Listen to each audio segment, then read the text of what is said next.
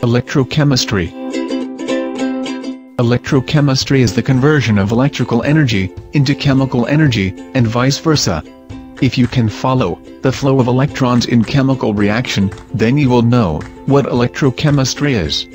Electrochemistry involves electrolytic cell and chemical cell.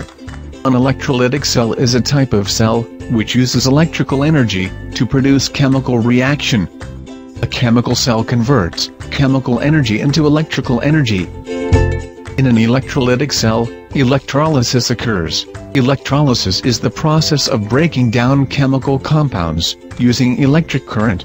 In electrolysis, an electrolyte in the form of molten compounds, or aqueous solution may break down into its elements. Chemical cell converts chemical energy into electrical energy. Examples of chemical cells include simple voltaic cell, dry cell, and lead acid accumulator. The simple voltaic cell is made of two different conductors, immersed into an electrolyte solution connected by wires.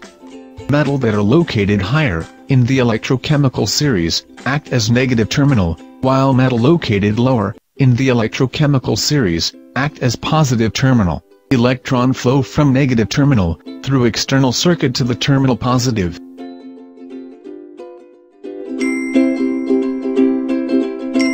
Thank you for taking time to watch this.